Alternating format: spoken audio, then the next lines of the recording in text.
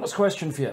Does your chat ever trigger you? All joking aside, it can be for memes, it can be for whatever you want. I was just actually watching one of my friends streaming the other day called The Warship. The link will be down below. And I saw him having this as a channel point and I thought it was really funny and I thought it might be something that you guys might want to, you know, figure out how to do. So let's jump into it.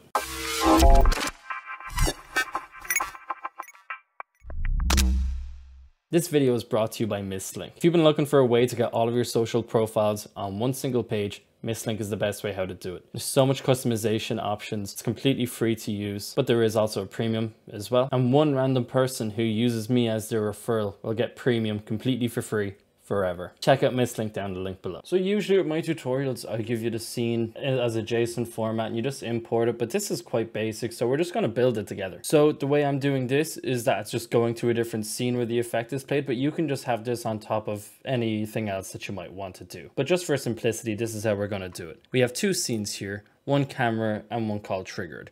Your camera is where your actual video input source is going to live. This is how you create a nested scene basically. And you want this to be pretty much default.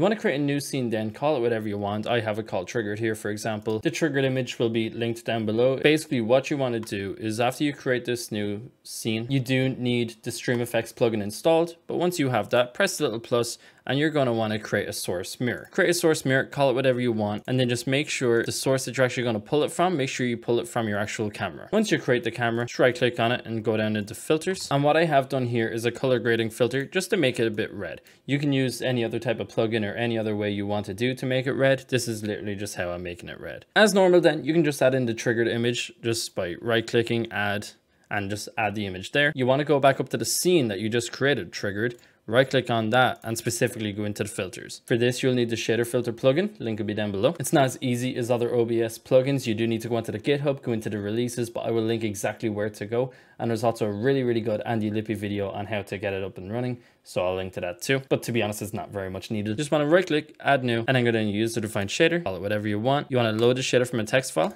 click browse, go to zoom blur, and it's going to start looking like this. I recommend turning on the use slider inputs, and then you can start playing with how many samples, and you can start playing with the magnitude, everything like that. There's one thing to know, however, is that to get the glitching effect, you do want to be a little bit careful with this. And then this little glitch button right here is actually what's going to make it glitch. Now, you do really want to be careful though and make sure that none of your viewers have epilepsy because if you set this to some sort of crazy thing, it's possible, you know, it might have a negative effect on someone.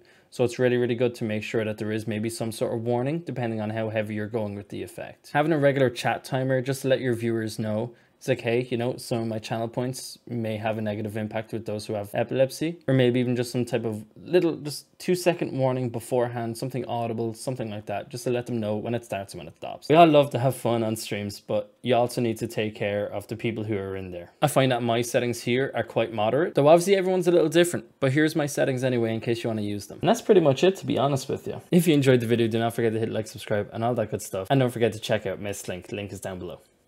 Peace.